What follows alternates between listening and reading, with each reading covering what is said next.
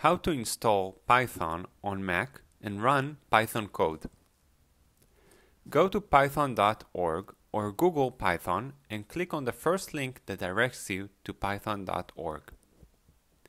Go to Downloads and download the latest version available. After downloading it, go to your Downloads folder and install Python.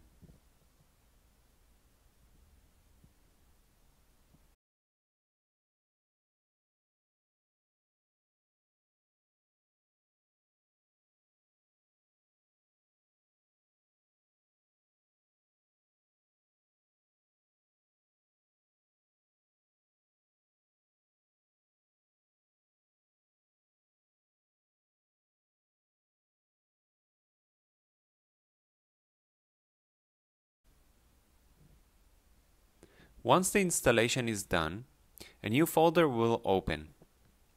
Now you can remove the installation file to your trash.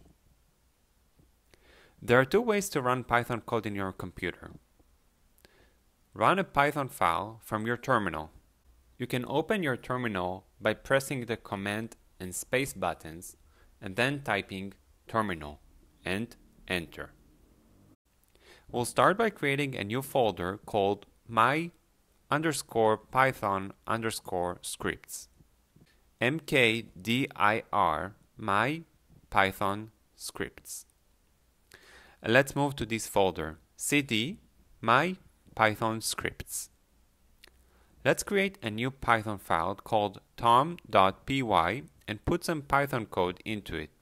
We'll run echo quote mark a equals 5 quote mark larger than tom.py.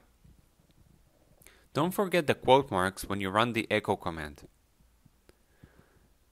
Let's also run echo quote mark b equals 6 quote mark larger than larger than tom.py. And one last line echo quote mark print parenthesis a plus b close parenthesis larger than larger than tom.py. Now let's run the Python file. Python 3 tom.py. And we can see that the Python script printed 11 as expected. To edit Python files, you can use any code editor. I'll recommend Visual Studio Code, but there are many other options out there. The other way to run Python code is using IDLE.